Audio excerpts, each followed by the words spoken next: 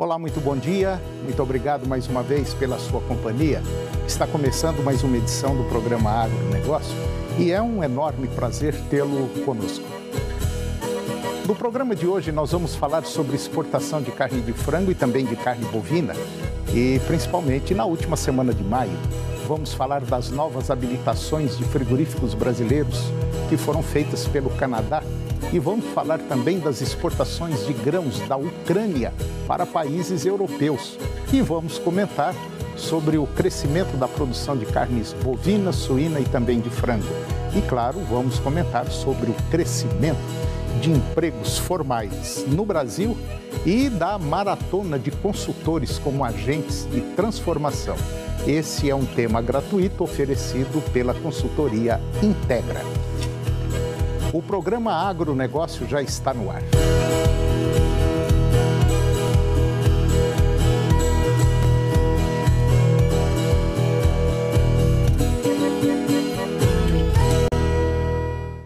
Eu começo o programa de hoje falando sobre exportação de carne de frango.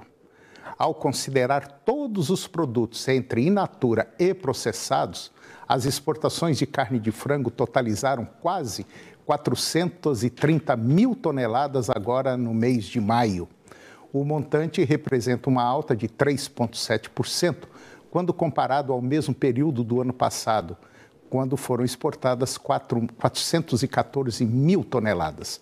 Segundo o material divulgado neste cenário, o setor alcançou uma receita de 904 milhões de dólares, número é, basicamente 38% superior ao, alcan ao alcançado em maio de 2021, com 656 milhões de dólares. Para a Associação Brasileira de Proteína Animal, o quadro inflacionário global, com a alta dos custos de produção e a forte demanda por carne de frango no mercado internacional, fortaleceram os preços médios internacionais para patamares superiores a 2 mil dólares por tonelada. Entre os principais destinos das exportações, Uh, em maio, tem o destaque para a China, que importou 50 mil toneladas, o Emirados Árabes Unidos, 44.800 toneladas, Japão, 33 mil toneladas, União Europeia, 26 mil toneladas.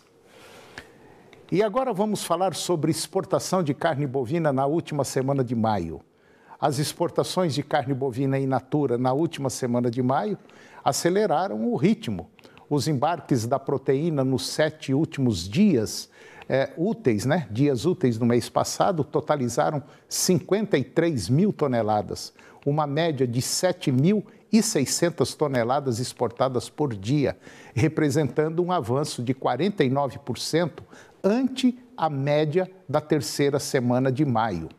Com isso, dentro do último mês, foram exportadas 153 mil toneladas de carne bovina in natura, uma alta de 20,8% no comparativo anual, sendo esse o segundo maior volume embarcado do produto para o mês de maio em toda a história. O preço médio mensal da tonelada ficou em 6.450 dólares, valorizando quase 4% ante o registrado no mês de abril.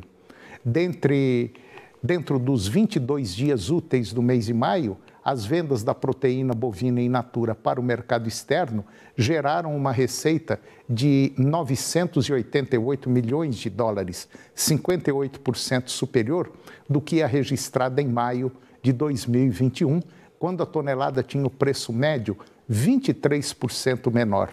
O montante arrecadado em maio deste ano foi o maior já visto em um mês de maio em toda a história. E agora eu vou conversar com Francisco Calaça. O Francisco Calaça, ele é mestre em inteligência artificial e nós vamos falar sobre tecnologia de monitoramento de pecuária de corte. Vamos falar o seguinte: diz que o olho do dono é que engorda o gado, né?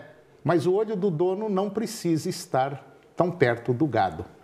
Francisco Calaça, muito bom dia, mais uma vez obrigado pela sua presença aqui no nosso programa para falar de um tema interessante. Tudo bem? Tudo bem. Então, tá bom, bom dia, é sempre um prazer estar aqui, Toninho. Então é ótimo. Francisco Calaça, você é mestre em inteligência artificial da Campo Nutrição Animal, correto?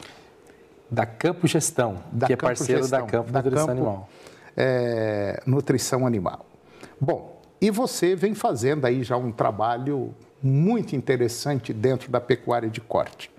E nos bastidores a gente batia um papo, falava aí sobre essa inteligência, é, vamos dizer, artificial, que o pecuarista não precisa mais estar perto do gado, precisa fazer uma gestão bem feita, né? Para poder tocar o negócio, né? Isso. Por estar mais ligado à tecnologia, Tony, a gente percebe muito é, que o produtor ele sempre faz a gestão. Né? É uma coisa que eu percebo ao longo aí. Quer dizer, todo mundo faz, todo né? Todo mundo. Todo mundo tem uma caderneta uhum. e anota o que gastou, o que comprou. A gente sempre faz isso, mesmo nas pequenas atividades. Sim. Porque, afinal de contas, dinheiro não dá em árvore, né, Toninho? É. E também não aguenta desaforo. E né? não aguenta desaforo. O produtor sabe disso. O grande problema que a gente da tecnologia está tentando resolver é a necessidade do produtor estar tá lá perto para fazer essa anotação é a necessidade do produtor estar tá lá do lado. Porque na maior parte das vezes ele está do lado. Né? Quando ele está produzindo lá o gado, ele está lá acompanhando toda a tratativa lá do vaqueiro dele. Para aquele empreendedor que está querendo expandir o, o, o, negócio dele, abrir pastos em outras regiões, inclusive mais distante da sede, em outros municípios, ele sempre encontra uma dificuldade com a gestão remota. O gado está lá mesmo? A pergunta primeira é essa. Aquela informação que o peão está me passando é, é é exatamente o que está acontecendo. Ele foi lá e contou. Quantas vezes ele conta aquele gado por semana? E são informações que, se a gente for analisar hoje a arroba do boi, né, Toninho? Cada animal daquele andando é um bolinho de dinheiro, assim. Que quando some, é picado por cobra, entala aí numa grota, olha o problema que o produtor tem. E aí a pergunta que não quer calar: está lá mesmo aquele boi? Então, a primeira tecnologia que nós já estamos em teste, em uma fazenda que inclusive já apareceu aqui, é justamente eu poder acompanhar isso de forma mais próxima, eu, produtor rural, mesmo estando na cidade. Olha que interessante, é como se fosse o boi bater o ponto, a gente está chamando assim. O boi vai beber água, isso é uma necessidade que a gente sabe que acontece lá na propriedade rural. Principalmente naquele piquete, naquele sistema onde é o, produtor faz o piqueteamento e tem uma área de lazer, é, ele coloca lá um bebedouro para o boi beber água. Ele vai lá pelo menos duas, três vezes por dia. Então ele vai bater o ponto. Sim. O produtor estando lá na propriedade ou até remotamente, passeando com a família ou em outra propriedade rural, ele está sabendo que aquele boi foi bater o ponto. E aí onde entra a inovação, que você pode falar para mim, mas isso já existe. A inovação são duas. A primeira é o preço, onde a gente está conseguindo levar isso para o produtor. Pois é, a gente já sabe que existem tecnologias assim no mercado, onde é desenvolvido projeto e é uma implantação através de um alto volume de dinheiro aí para o produtor. A gente está conseguindo fazer de tal forma que o produtor vai pagar uma mensalidade. E aí, para ele fica mais acessível, até para o pequeno, que está lá com 100, 200, 300 cabeças, uhum. que às vezes não compensa ele colocar um projeto lá de 50, 60 mil para implementar isso, mas ele consegue pagar uma mensalidade. Outra vantagem é que a gente não está só batendo ponto. Como você bem colocou, devido à minha área ser inteligência artificial, a gente está aproveitando para aprender o comportamento daquele animal. Todo animal, por ele ser mamífero, ele tem uma mania, vamos falar assim, né? Tem. Tem uma mania. Uhum. O boi tem mania, o cachorro tem mania, todos. A vaca lá de leite, lá do, do, do pecuária leiteira, tem mania.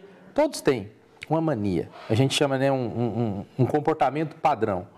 Então a gente aprende esse comportamento padrão. Se porventura aquele brinco for trocado de orelha, o comportamento padrão daquele código muda. E a gente sabe, então, a partir daí, que houve uma modificação na, naquela, naquele entendimento daquele animal. Uma outra vantagem dessa tecnologia é que, assim que a gente concluir os testes em algumas propriedades rurais, já desse relógio de ponto do, boi, a próxima etapa é fazer o mesmo sistema de negócio através de mensalidade para a pesagem. Mas essa aí já é um assunto que a gente ainda vai Mas falar. Mas não é tão complicado assim, né? Quer dizer, já está embutida dentro desse... Exatamente, porque a maior dificuldade, eu não vou mentir, uhum. a maior dificuldade, Tony, não é nem identificar o boi e muito menos pesar. Uhum. A gente está falando de pasto. E quando a gente fala de pasto, é diferentemente às vezes da soja, é diferente, né, que às vezes está em grandes áreas, é, áreas muito próximas das cidades, o pasto não, às vezes tem áreas um pouco menos desenvolvidas do estado. Sim, entendi. Então a rede, celular, comunicação, uhum. energia elétrica é um pouco mais difícil. Então colocar um sensor, parece simples, né? Ah, vamos pôr um sensor lá no bebedouro. É, se esse bebedouro está numa fazenda, que é aqui do lado de Goiânia, é, uma é fácil. Coisa. Se aquele bebedouro está numa fazenda que está lá no norte do, sei lá da onde, uhum. lá no, no, município longe, você anda estrada perto de terra. do caixa prego. Exatamente. Uhum. Aí fica mais difícil chegar Entendi. à internet. Então, a ideia é que realmente a gente consiga resolver isso, independente da possibilidade de ter ou não comunicação. É, e além dele bater ponto, é possível a gente saber até se ele comeu, se não comeu, se o funcionário pôs a comida lá para ele, o sal mineral, né? Exatamente. Por quê? Veja bem que interessante. A partir do momento que você já tem o ponto do boi e o aplicativo onde você uhum. tem as monitorações, você faz o que alguns gestores de empresas na cidade já fazem, que ao invés de deixar que a tomada de decisão fique por conta do funcionário, ele cria lá o checklist. Entendi. Há um checklist. Então, o, o funcionário ele fica é, é, é, sem a responsabilidade de ter que tomar decisão ou pensar muito, vamos falar assim ele tem que cumprir um checklist. Então, uma proposta que nós estamos chegando para o produtor agora é assim: ó, você tem lá X de dinheiro que aquele funcionário ganha. Ele vai ganhar, ele pode ganhar uma gratificação se ele cumprir o checklist no mês inteiro. E um do, do, dos elementos é Entendi. sal, é pasto, é boi no, no piquete. Bom, Francisco Calassi, se alguém quiser entrar em contato com você, como é que ele faz? Bom, a gente vai deixar o telefone, né? O meu telefone é o 62 98185 2050 pode mandar um WhatsApp.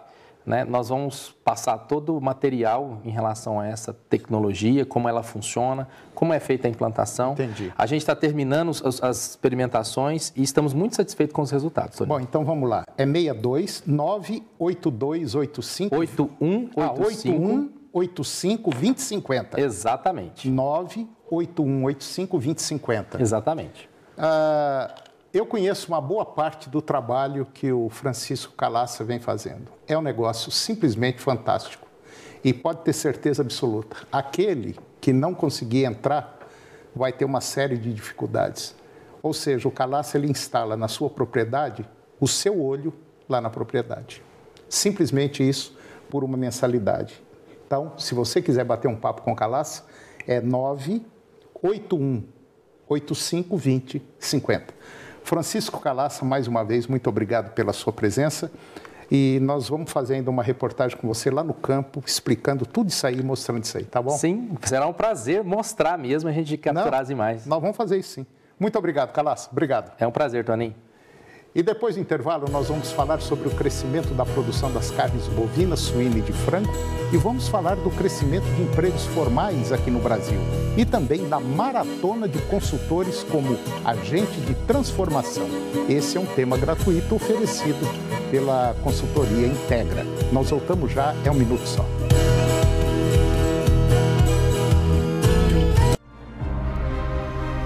A força econômica do Centro-Oeste referência no agronegócio, na tecnologia de produção e destaque no desenvolvimento urbano e qualidade de vida.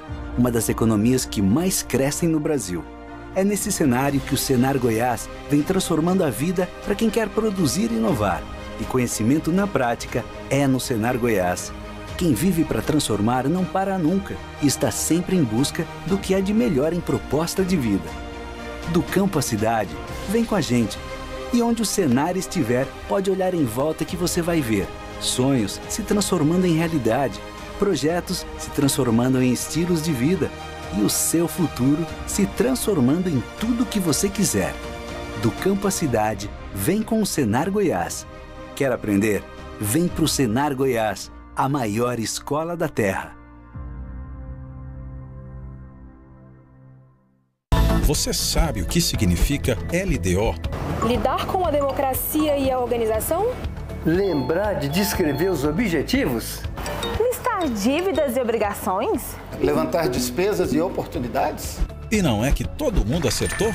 LDO é a Lei de Diretrizes Orçamentárias, onde a Assembleia Legislativa de Goiás define as prioridades do governo para o ano seguinte. É fixado quanto vai ser economizado, quais serão as despesas e em que oportunidades os órgãos públicos poderão financiar projetos. A LDO zela pelo bem público. E tudo com a sua participação. Isso mesmo. No dia 29 às 10 da manhã, venha à audiência pública no auditório 2 da Lego e traga sua contribuição para a elaboração da Lei de Diretrizes Orçamentárias. Isso é transparência. LDO. Três letras para descrever algo que é único. Democracia. Uma mensagem de utilidade pública da Assembleia Legislativa de Goiás.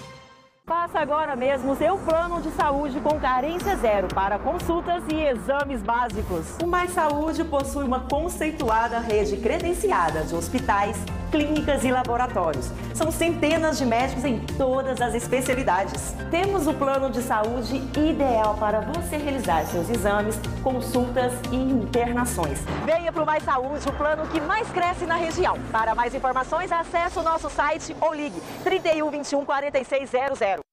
Agronegócio. Oferecimento Senar Goiás, a maior escola da terra. Eu estou de volta e agora nós vamos comentar sobre os dados divulgados pelo IBGE que possibilitam constatar que nos 12 meses encerrado em março agora deste ano, o volume das carnes bovina, suína e frango proveniente de abatedouros sob inspeção federal estadual ou municipal, ficou próximo de 27 milhões de toneladas, quase um milhão de toneladas a mais que em período idêntico anterior. O volume adicional significou um incremento de quase 4%. Em termos relativos, a maior contribuição para esse aumento veio da carne suína, cujo volume aumentou quase 9%. Vem a seguir a carne de frango com um aumento de 5,2% e já o volume de carne bovina sofreu um decréscimo de 1,8%, índice inferior ao observado no número de cabeças abatidas, uma queda de 3,7%, o que significa que houve aumento de produtividade, desempenho aplicável também às duas outras carnes. Em valores nominais, o maior aumento de volume foi proporcionado pela carne de frango, 730 mil toneladas a mais, quase três quartos do adicional total de 994 mil toneladas. O adicional de carne suína foi de 402 mil toneladas, enquanto a queda no volume de carne bovina representou 138 mil toneladas a menos. Com tais resultados, a participação da carne de frango no volume total de carnes aumentou cerca de 1%, correspondendo a 54% do total. Como a carne suína manteve a sua participação de 18%, quem perdeu o ponto adicional foi a carne bovina, agora respondendo por 28% das carnes inspecionadas. E agora vamos comentar sobre empregos formais no Brasil. No mês de abril, o Brasil criou 196.966 empregos novos formais. O saldo é resultante de um total de 1.854 mil admissões e de 1.657 mil desligamentos. E com isso, os trabalhadores seletistas no país estavam, naquele mês, em 41 milhões 488 mil vínculos, o que, segundo dados do balanço do Cadastro Geral de Empregados e Desempregados, que é o novo CAGED, representa uma alta de 0,4% na comparação com o mês anterior. De acordo com o novo CAGED, no acumulado de 2022, o saldo está em 770 mil empregos, número que decorre de um total de 7 milhões 715 mil admissões e de 6 milhões 944 mil desligamentos. Este saldo é 3,6% menor do que o registrado no mesmo período do ano passado. Esse saldo negativo é testemunho de maior base, de um maior estoque de empregos, portanto, é natural que o percentual de crescimento diminua ao longo do tempo. No cenário de 2022, não há expectativa de que se gere o mesmo número de empregos do ano passado, quando foram gerados mais de 2 milhões de empregos. Todas as cinco regiões brasileiras tiveram saldo positivo. A região sul com 25.102 novos postos, a Centro-Oeste com 25.500 novos postos, a região Sudeste foram criados 101.200 postos, a região Nordeste quase 30 mil e a região Norte 12 mil novos postos. E agora eu vou conversar com Antônio Schacker. O Antônio Schacker é o CEO da Integra, talvez uma das mais importantes consultorias eh, do agro dentro da América do Sul. E nós vamos falar de uma maratona que o Schacker, o Antônio Schacker, criou.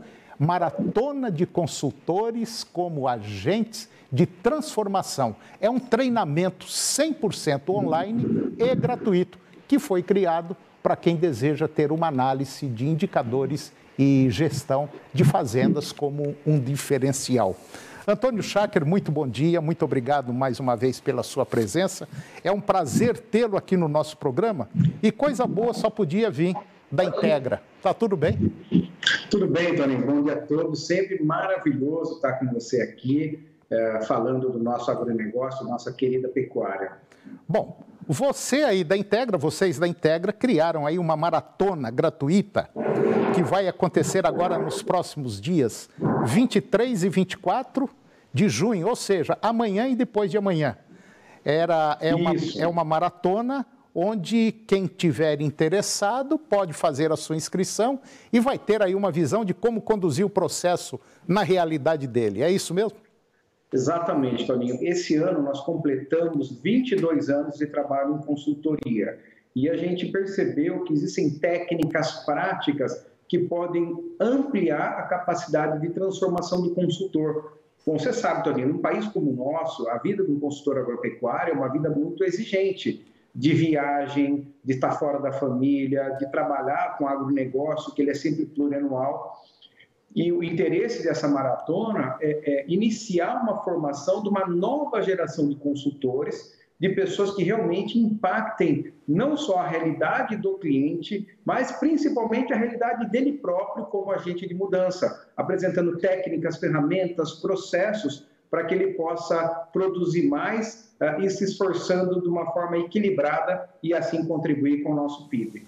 Bom, você que está nos acompanhando, você que é um consultor, e mesmo você que seja um produtor rural, mas aí que está afim de aprender, você pode fazer um contato lá com a Integra. O e-mail da Integra é o universidade@integra, integra com dois T's, ponto com. Ou então você liga lá para a Integra, o telefone é o 44 33 54 55 52. Entre em contato com o pessoal da Integra, porque o evento começa amanhã, dia, vai, vai, vão ser os dias 23 e 24 à noite, e você pode bater um papo, ficar por dentro de tudo que está acontecendo aí no mundo do agronegócio, principalmente da pecuária. É isso mesmo, né? Exatamente, também. E no sábado, dia 25, a gente vai ter uma mentoria ao vivo de três horas, trazendo cases, situações para que realmente a gente entregue muito valor e cumpra o nosso propósito aí de seguir transformando a pecuária sul-americana. Então vai ser um encontro delicioso, uh, online, ao vivo, com encontro ainda com uma mentoria uh, que vai ser sensacional no sábado e eu tenho certeza que junto a gente sempre é mais inteligente e mais forte, né, Felipe? É, se a gente juntar um graveto a gente quebra muito fácil, né? Mas se juntar muitos pedaços de graveta aí fica difícil para quebrar. É a tal negócio do cooperativismo, do associativismo. Então, Cháquer, eu fico muito feliz em saber que essa ideia que vocês tiveram aí na, na Integra é uma, é uma ideia realmente interessante, porque vai contribuir para quem, quem já está no mercado ter uma evolução maior. Porque eu sei que você tem cases assim que não acabam mais. Vocês hoje devem, se não me falha a memória, deve ter passado aí de 500, 600 propriedades rurais que vocês estão abraçando aí, dando consultoria. Isso é um número altamente significativo e coloca a Integra aí como o top das consultorias no nosso país. Isso é um prazer. Isso é muito interessante tê-lo você aqui falando sobre essa maratona. Antônio, me fala um pouquinho mais dessa maratona. O que, que a pessoa vai ver ali? Vai ser assim, Toninho. A gente vai trabalhar três grandes momentos, né? Um momento a gente entender qual é o potencial dessa profissão no Brasil, né? é, é, quais oportunidades existem dentro do trabalho, não só na área de gestão, mas em diferentes áreas, porque o agronegócio ele é plural. Então, o primeiro aspecto é entender assim quanto de dinheiro tem em cima da mesa e como a gente pode captar isso para o nosso país, para a nossa vida. Um segundo são técnicas de atendimento a, a, ao cliente, de relacionamento e assim por diante. E o terceiro, nós vamos falar do método de transformação. Então, qual que é o tamanho do mercado? Como que eu posso atender o cliente e fazendo exatamente o que que eu consigo realmente levar a uma transformação muito positiva. Então, essa que é a ideia. A gente, na verdade, gostaria que as pessoas não sofressem tudo que nós sofremos nessa jornada de consultoria. Hoje a gente pode ter atendimento híbrido, a poder fazer novas formas de precificação da consultoria, a gente pode fazer realmente um trabalho muito mais moderno. Por isso que a gente está convidando aí uma nova geração de consultores agropecuários usando tudo que tem de mais novo. Não precisa estar enroscado nos anos 90, não. A gente pode aí ser um consultor dos anos 2020 ou dos anos 2030. É, é, essa, essa conversa que eu estou tendo com o Antônio Schacker, eu acho que é um ponto muito interessante que a gente tinha que estar tá bem por dentro. Sabe por quê? É, nesse momento agora, a gente está vendo que a pecuária teve um balanço aí, afundou, a roupa foi lá para baixo, muita gente, o que, que eu vou fazer, o que, que eu não vou fazer. Pô, coloque na cabeça que o mundo vai continuar do mesmo jeitinho que ele está vai ter os seus altos e os seus baixos. Agora, aquele que tiver preparado, aquele que treinou, aquele que suou no treinamento, ele vai gastar muito menos tempo para chegar no seu objetivo final.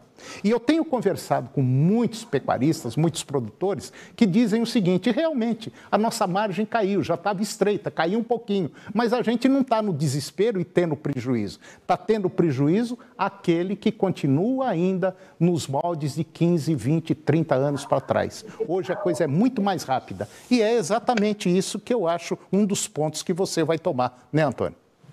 Exatamente, E tem uma coisa que é uma vantagem, eu vejo quem é acompanhado por consultor, ah, porque aqui no Instituto nós temos empresas de consultoria que nos atendem, o consultor ele vive uma vida ah, plural no sentido de atender Sim, várias verdade. fazendas. Né? E, e aí ah, sempre existe vida inteligente que a gente brinca fora do nosso escritório. Então, essa pessoa vai ajudar a pensar a solução dos problemas, inspirar o futuro e levar uma transformação. E a gente, cada ano que passa, a gente percebe que uh, quem está preparado aproveita essas variações de mercado e não sofre com elas. É verdade, é justamente o que, que acabei de falar. Quem está preparado chega lá no final, pode ter certeza absoluta. Bom, eu conversei com o Antônio Schacker, zootecnista, é o dono da Integra, uma das principais consultorias aqui da América Latina, aqui do Brasil. E agora, dias 23 amanhã e dia 24, vai ter esse, essa maratona de consultores. Você entra em contato com o pessoal da Integra, está aí o telefone 44 33 54 55 52, ou então mande um e-mail para lá, universidade@integra.com Antônio Schacker, muito obrigado pela sua presença mais uma vez e, como sempre, o nosso programa está à sua disposição, ok, meu irmão? Eu que agradeço, um grande abraço a todos. Falou, um abraço, tchau. Tchau. E o programa de hoje chegou ao fim. E eu termino o nosso programa com a seguinte frase: Não aponte defeitos, aponte soluções. Qualquer um sabe se queixar. Um grande abraço, muito obrigado pela sua companhia, que Deus os abençoe e até o próximo. TV Serra Dourada SBT Goiânia. A informação com credibilidade, o jornalismo onde você tem voz. Jornal do Meio-Dia. Logo mais às 11h30. A seguir, primeiro impacto, continuação.